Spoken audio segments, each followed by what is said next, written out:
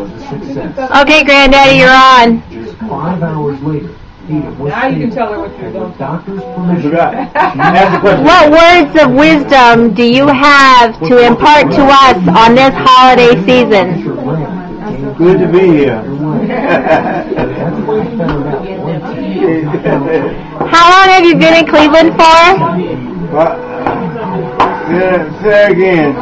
How long have you been in Cleveland for? When did you come to I've Cleveland? been in Cleveland by 80 years, about, about 60 some years.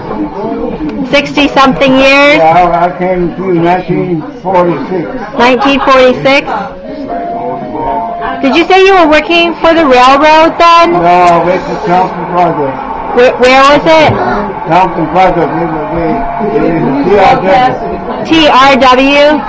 Yeah, I, worked there, I worked there 35 years.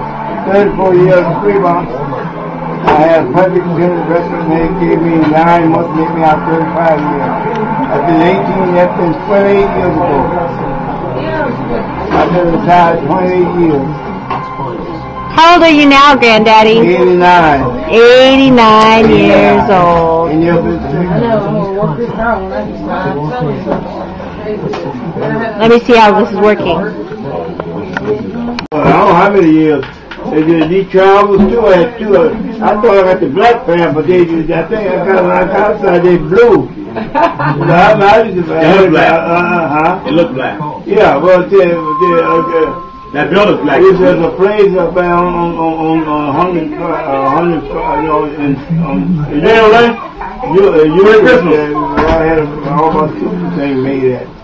I had Charles and everything made up there. I got it. And I was I was looking at it, you know, and uh, the these were right together.